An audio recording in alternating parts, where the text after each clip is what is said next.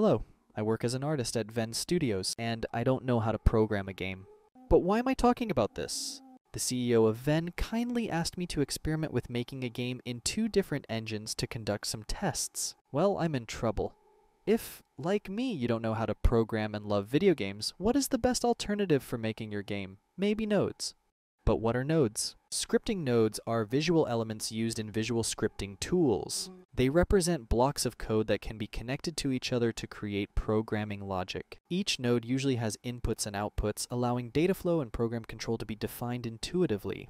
And why nodes? The graphical interface facilitates the understanding of program logic without the need to write complex code.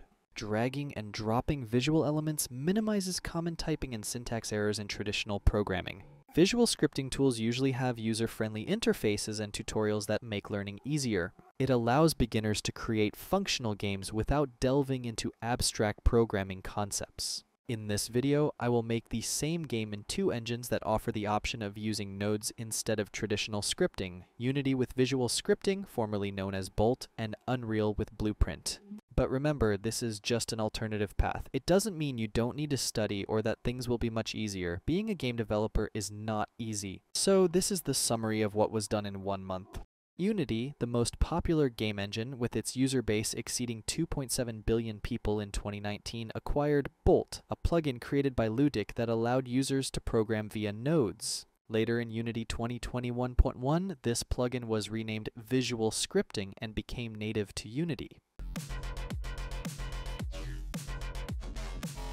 Inspired by Hotline Miami, which I am a big fan of, and Disc Room, our game will consist of killing enemies while dodging saws and trying to survive as long as possible. With Unity open, the first thing I did was create a circle and designate it as our player. Oh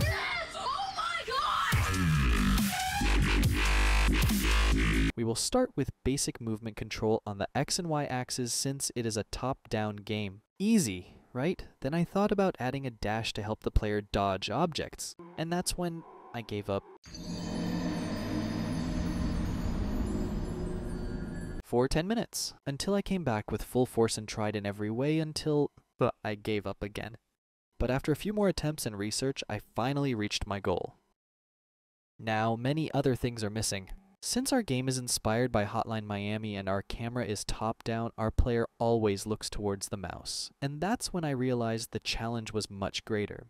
Luckily, after some research, I found someone on a Unity forum who needed to do the same thing as me, so I ended up copying those nodes and trying to understand how they work and the logic behind them.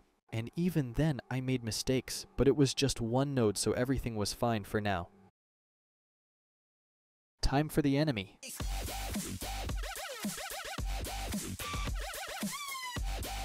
This enemy will always be running towards you. If it reaches you, you die. For the enemies coming our way, we need to stop them somehow. So the next step was shooting.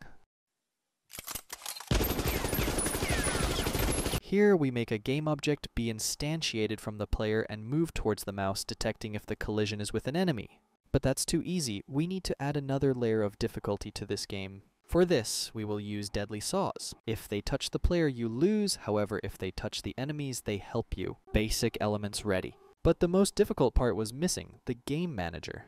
These nodes will spawn enemies and saws coming from the edges of the screen during the game. Without a doubt, it was the most time-consuming script to make. However, once the enemy spawning was done, it was easy to reuse the same nodes to spawn the saws and give a warning of where they will come from. With everything done, it's time to beautify, right? In two weeks, knowing absolutely nothing about programming, this is what I managed to do.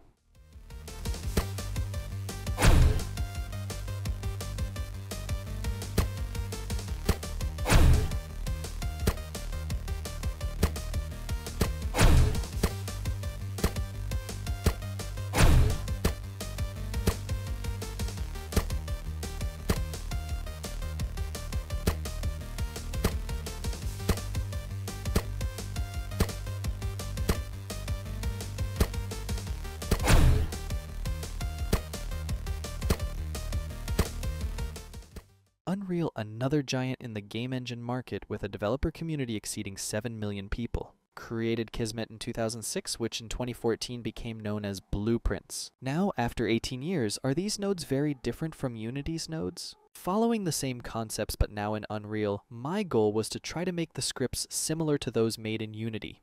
Since I had already had experience with one engine, it was obviously going to be a bit easier to work with another one. Wrong. Unreal is something completely different from Unity, so I had to study everything again. One week later. Starting with the camera setup and then moving on to the movement controls, I already noticed that things here would be a bit different from Unity,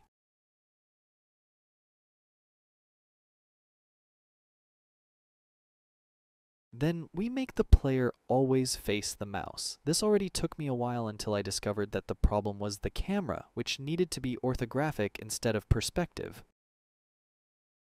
Now, it's time for the dash, which was much easier to do here.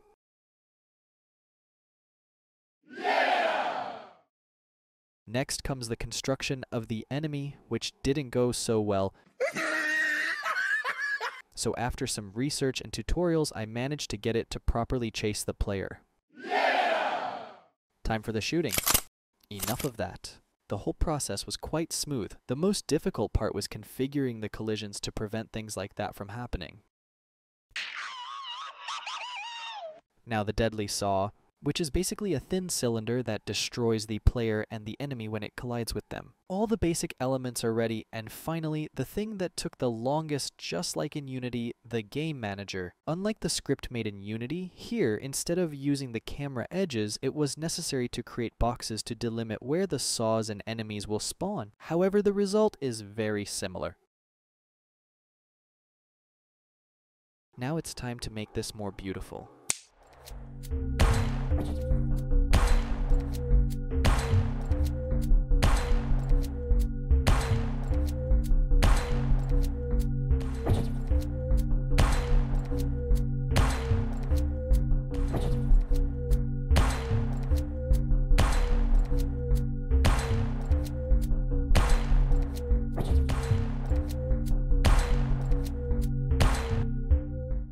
One game and two engines in one month, but after all, what can we conclude from all this? Let's start with the engines. As a beginner, Unity proved to be much more user-friendly than Unreal, and much of this is due to its more intuitive interface. In addition, Unity has a vast and very active community, providing an abundance of tutorials, support forums, and learning resources. Unity also supports a wide range of platforms including iOS, Android, Windows, macOS, Linux consoles, AR, VR, and even web browsers. This makes it easier to develop and publish games on multiple platforms. Unlike Unity, from a beginner's perspective, working with Unreal was a considerably greater challenge. Of course, there are also tutorials, forums, and other learning resources, but these are not as abundant as those for Unity.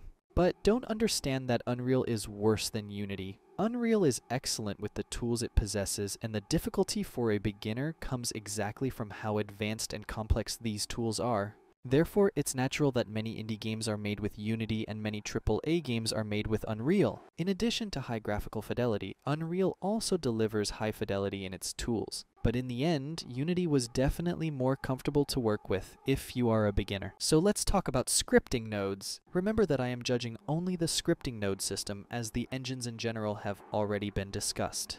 And in this case, the trophy goes to Unreal. Because by making a direct comparison with Unity's scripting nodes, I observe that Unreal is far ahead in some aspects, and this is to be expected from a system with many years of age. However, the highlighted points are the interface with a greater potential for organization, which is very lacking in Unity, making it impossible to move and organize connections in a different way. Breakpoints that greatly facilitate the tracking and correction of problems directly in the visual interface. A vast community that uses blueprints, making blueprint tutorials much easier to find than Unity's visual scripting tutorials, considering that Unity tutorials in general exist on a larger scale. And finally, Blueprint proved to be easier to understand. I believe the best way to show this is by comparing some nodes that serve the same mechanics, so take a look.